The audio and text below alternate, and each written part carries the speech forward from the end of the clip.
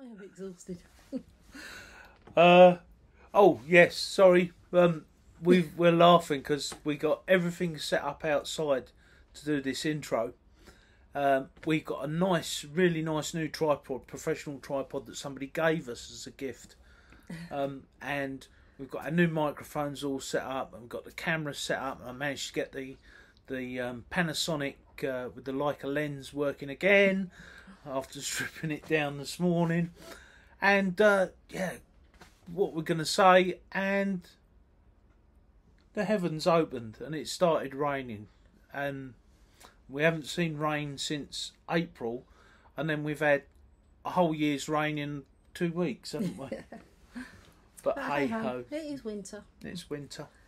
Um, this week's video is about gel coating. Um, we had a few little nicks and dents in the boat. You know, just living on a boat, you nick and Then dent things. So we've um, we've done the repairs on those, and um, quite an important safety notice. We thought everybody knew about it, but um, we found out that there are some people that don't know, so we're passing it on.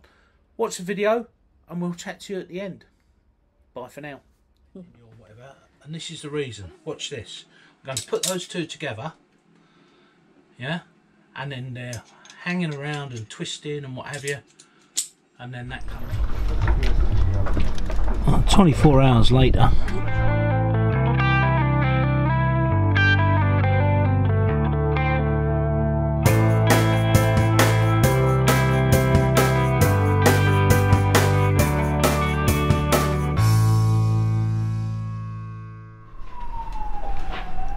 What am I doing today?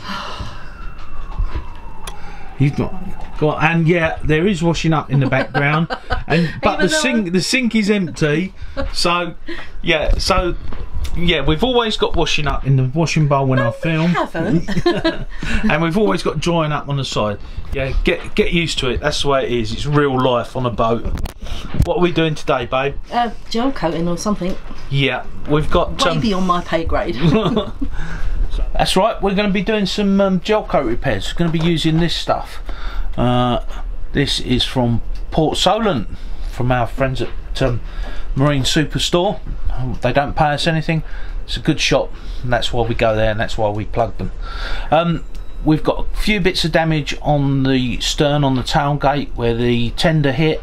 Uh, we've got a bit of damage uh, out here by this window here um, where I dropped a knife on on the deck and it took a ding out the uh, gel coat and we've got one little bit up by the canopy that I've got to repair as well.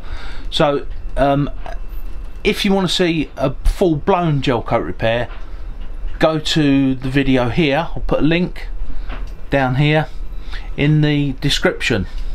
I'll see if I can put one of them linky things up the top there take you straight to it. But it's it's quite easy to do. A few little rules that you have to follow. Um, come with me and I'll show you what it is we've got to do. Okay let's show you this first bit of damage. So we can zoom in a bit. This is the first piece of damage here. We closed the tailgate with this bolt still across and it caught on there. Um, and this is where the uh, tender hit the corner of the uh, tailgate. Did a bit of damage. Don't know what that is there. But it's gonna have to be dug out repaired and I put a little bit in this corner during the summer just to protect it. That's got to be dug out and repaired let's show you the other bit. Okay. And here's the other little bit there down by our window. See that? There. I dropped a I dropped a knife on the deck and it uh, quite literally landed point down and took a dig out the deck and the other one I've got is down here one of these press studs Um, I don't know how, but it's uh, got dislodged, and now I've got to uh, repair the hole. Can't quite see it here. Let's see if I can get in there. Yeah, there it is. Look. So these weren't put in by me. They were put in by um, Texo when the boat was new, and uh, this one has broken out. So I'm going to have to repair this, with some epoxy, and then some gel coat on top. It's about six mil thick here, so just gel coat's not gonna not gonna crack it I don't think. Let's get on with it before it rains because it looks decidedly grey and horrible over there. Um, mind you the wind is going the other way.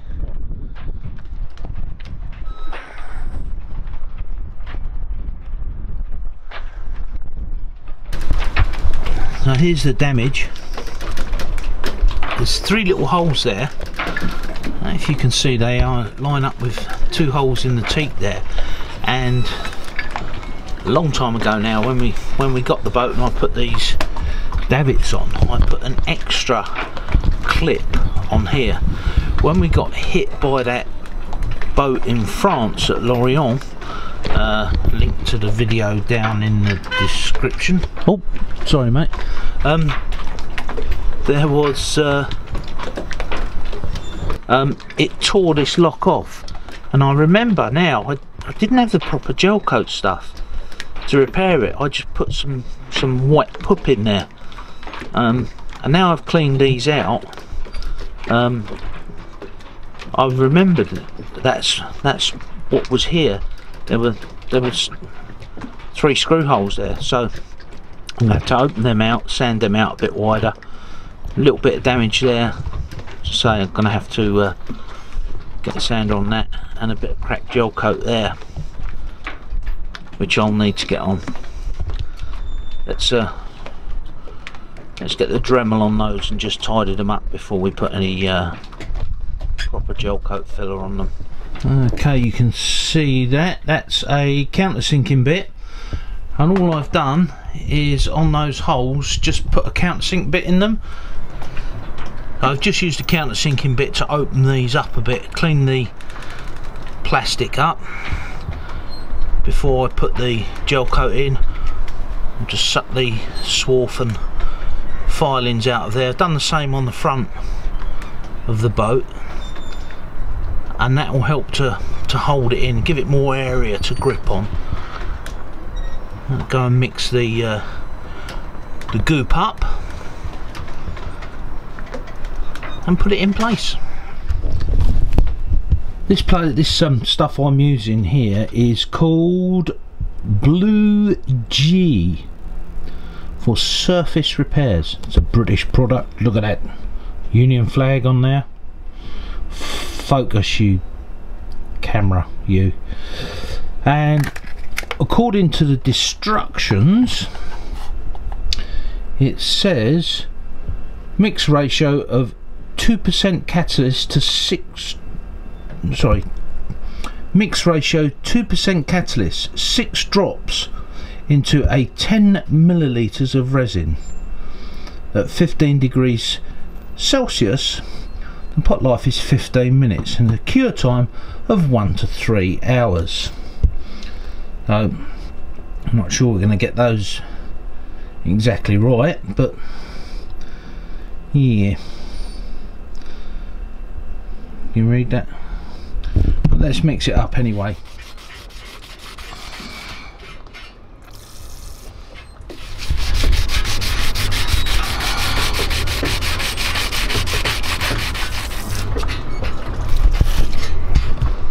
So I'm using um, 280 grit wet and dry here and you can see I've brought those peaks down now it's still fairly rough I've got this corner to do and this bit to do and another little piece there which we didn't see before but while I was putting it on I noticed that's um, like a mastic joint butyl joint but this is starting to come now. It is still very rough in its early stages.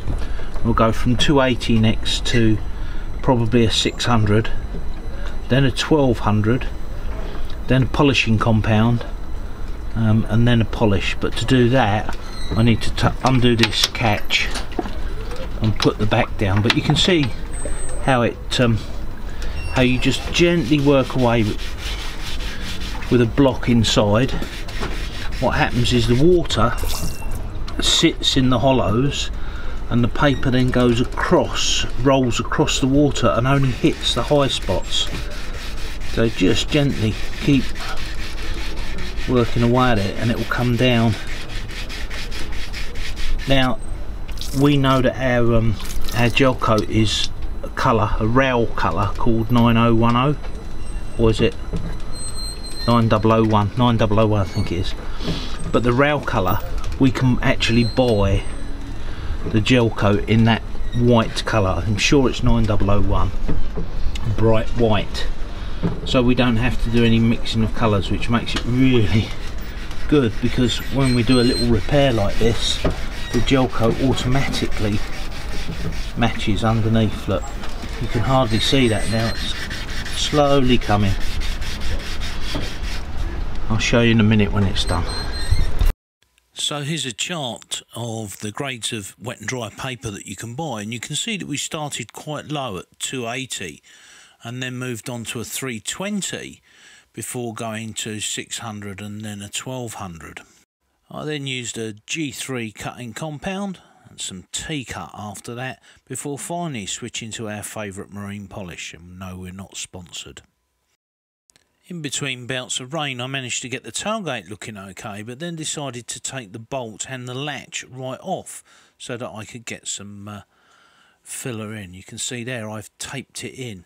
Now I've taped it in position because gel coat actually is quite runny and if you put a piece of tape on it like this it will stop it from running down um, a vertical surface.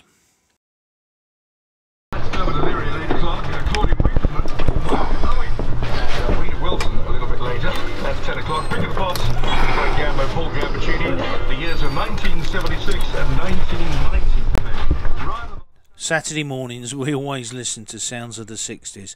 Anyway, once the uh, gel coat had hardened off and I pulled the tape back, it looked much better. We got the gel coat where it needed to be and that was ready for sanding.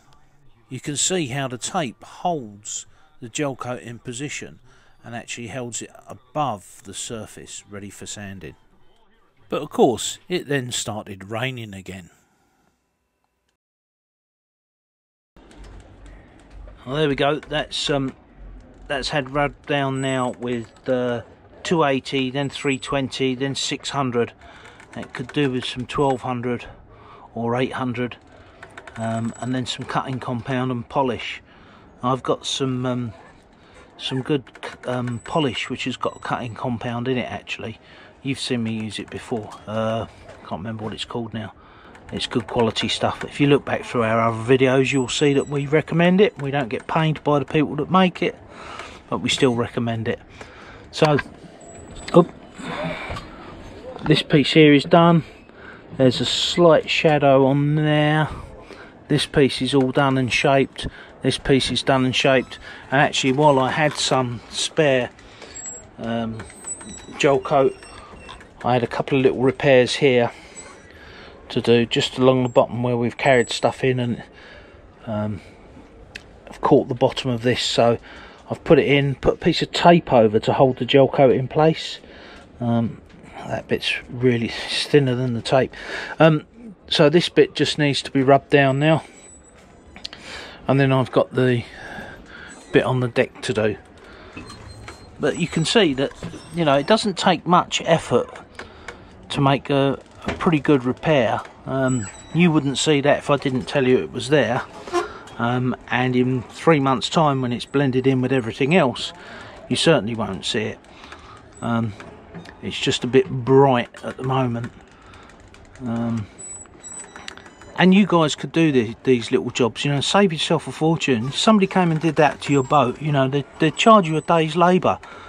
Um, you know I don't know what a day's labour is at uh, where you are but certainly here it's probably 150 bucks a day.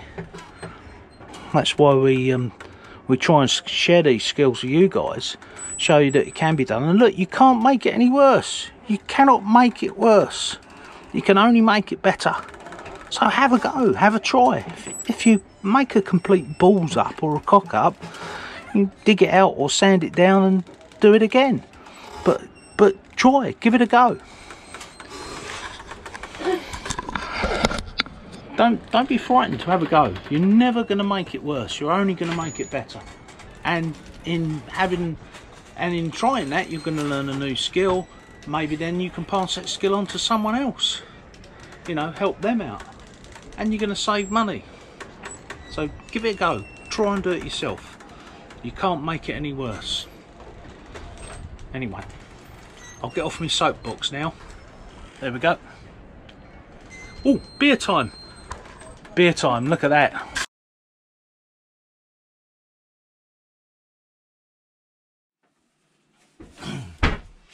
I'm just um, putting away the uh,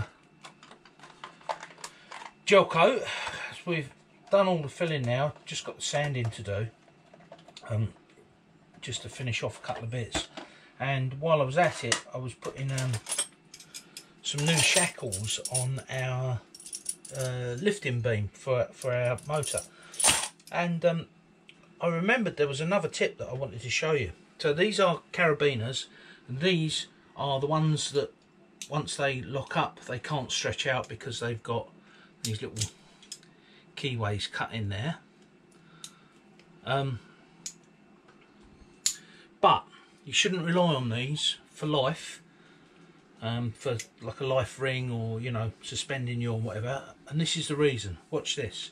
I'm going to put those two together. Yeah, and then they're hanging around and twisting and what have you, and then that comes off.